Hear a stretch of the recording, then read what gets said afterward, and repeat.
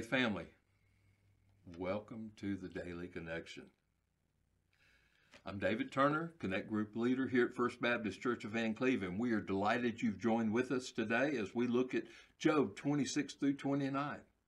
We're reading through the whole Bible this year.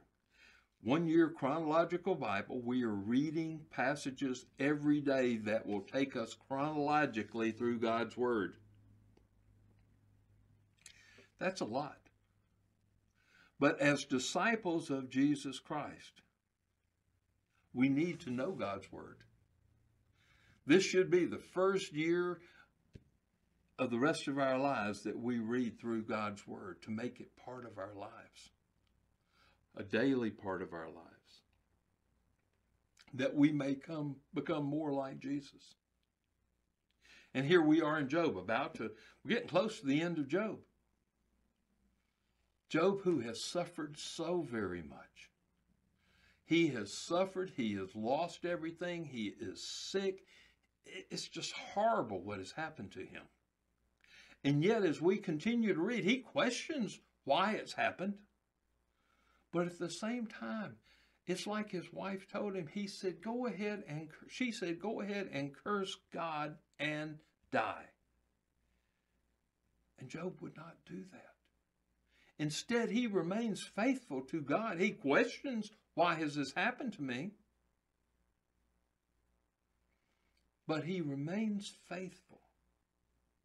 We see that again in one of the chapters we read today, Job chapter 27, starting with verse 1. Read along with me. Then Job con- continued his discourse and said, As God lives, who has taken away my right, and the Almighty, who has embittered my soul. For as long as life is in me and the breath of God is in my nostrils, my lips certainly will not speak unjustly, nor will my tongue mutter deceit.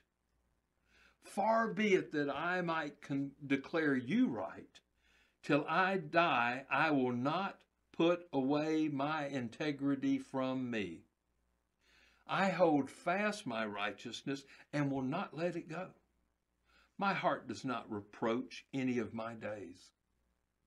Job's friends tried to help him identify what in his life had brought on this terrible sequence of events that had taken everything everything he owned, his family, his health. And yet, Job was faithful to saying it's not because of what I did that this happened. But I will not turn against God.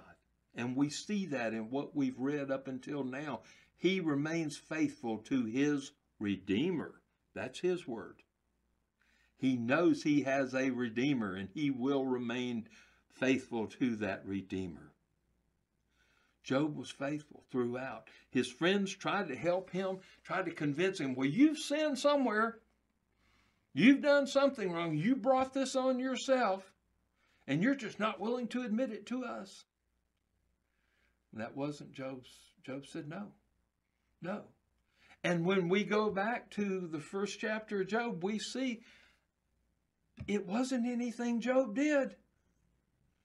God said, Satan, look at my servant Job. What an outstanding, faithful man he is. And Satan said, Well, no wonder after what you've given him, everything you've given him, anybody would be faithful. And then God allowed Satan to take everything. Job questioned what had happened, why it had happened. He knew it wasn't based on his sin that he was being punished for. But at the same time, he questioned God. But he remained faithful to his Redeemer. Verse today that comes about as a result of this scripture, 1 Corinthians chapter 6, verse 19 and 20. What? Know you not that your body is a temple of the Holy Ghost which is in you, which you have of God, you're not your own. For ye are bought with a price. Therefore, glorify God in your body and in your spirit, which are God's. Job believed that. Job believed that he was in God. He trusted God. He didn't understand it. He questioned what had happened. But still, he remained faithful. Our body is the temple of the Holy Ghost, which is in us, which we have of God, for we are not our own. We are bought with a price, therefore, glorify God in your body and in your spirit, which are God's. Share the good news of Jesus Christ. Live sent.